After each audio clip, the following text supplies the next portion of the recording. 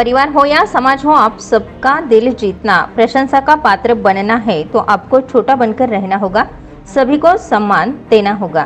हर काम में करूँ या मैं कर सकता हूँ, इस भावना को त्याग कर।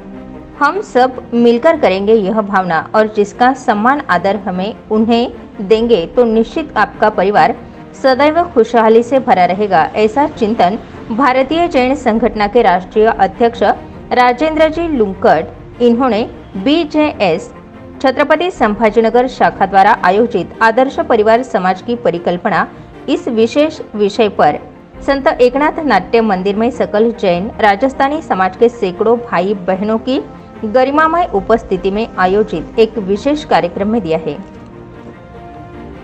अहंकार और अधिकार का अहम हमेशा विघटन और अशांति निर्माण करता है। समाज के उत्थान के लिए युवा शक्ति को संघ समाज से जोड़ने की आवश्यकता है।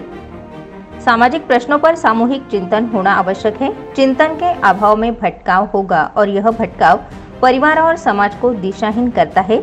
इसलिए हम जागरूक बने, एक दूजे की भावना को समझे, अपने मन की संवेदनशीलता को जागरूक करें। माता पिता का सम्मान सास बहू का सम्मान और बातचीत का ढंग सीखे तो आपके जैसा खुशहाली परिवार और कोई नहीं होगा। आदर्श समाज समाज संघ और कहीं नहीं होगा ऐसा संदेश उन्होंने दिया है।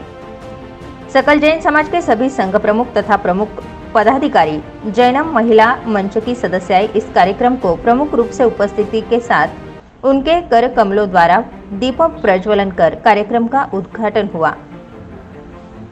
इस अवसर पर भारतीय जैन संगठन के राज्याध्यक्ष श्री नंद किशोर जी साखला, राज्य सचिव दीपक जी चोपड़ा राष्ट्रीय कार्यकारिणी सदस्य श्री गौतम भाई संचेती आदि प्रमुख रूप से उपस्थित थे.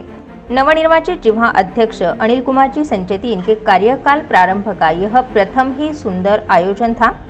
कार्यक्रम की सफलता के लिए प्रवीण जी पारक पारस जी चोरडिया किशोर जी ललवाणी राहुल जी झांबट राजेंद्र जी पगारिया पारस जी बागरेजा तथा सभी जिला पदाधिकारी कार्यकर्ताओं ने परिश्रम किए.